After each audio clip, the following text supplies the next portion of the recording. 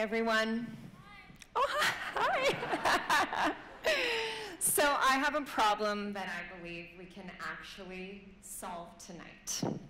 Because I know we won't let a small thing like $300,000 be the reason thousands of students are too hungry to thrive right here in Waterloo Region. So I want you to raise your hand if you believe that food is essential. so that was a bit of a, a, trick question. But raise your hand if you believe that poverty alone is the reason that a young person might go without food. I want you to imagine this grade 10 student. The kitchen is where her abusive parent has coffee every single morning so she knows she's safer to leave for school unnoticed rather than heading to the kitchen to pack a lunch. This child's single parent is working two jobs and caring for his elderly parents. He intended to pack his son a lunch, but he got called in to work overtime. So my question for us tonight is, should either of these kids go hungry at school? See, youth hunger is not just a poverty conversation. This is a youth equity story. And at Nutrition for Learning, we don't just believe, we know that every student, regardless of why they're hungry, should have the food that they need to thrive during the school day.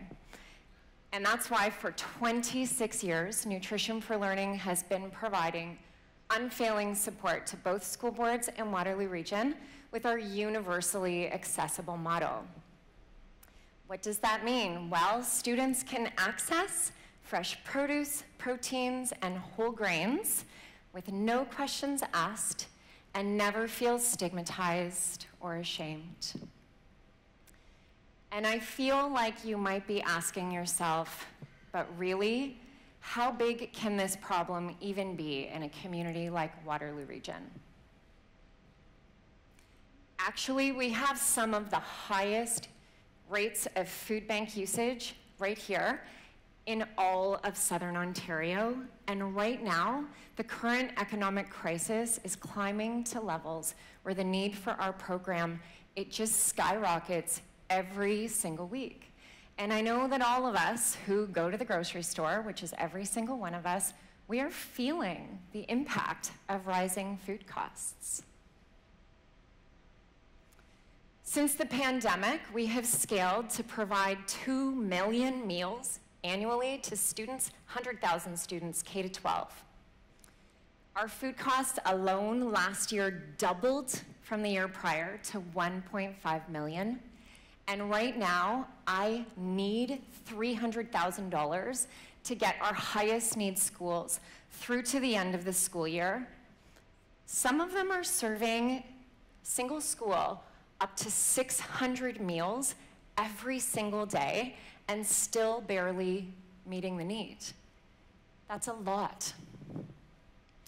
And I ask myself sometimes, am I going to have to pick up the phone and ask some of these schools to scale back and decide which half of these kids should go hungry.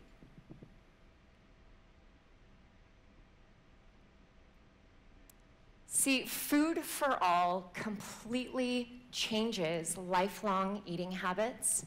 It improves, as we know, physical and mental health, and it obviously elevates student outcomes and potential.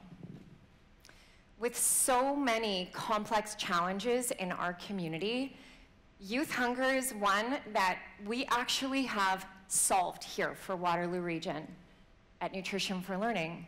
It's just that we need a little help right now to bridge a gap. So, if you gave $80 a month, barely the cost of a dinner out, if you can believe it, you would provide 744 meals this year. And if everyone in this room followed suit, we would more than cover our shortfall.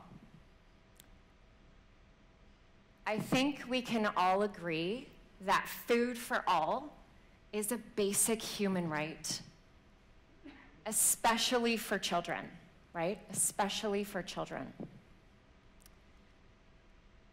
So I'm asking you will you give up a single meal a month to guarantee that right for the next generation? Thank you.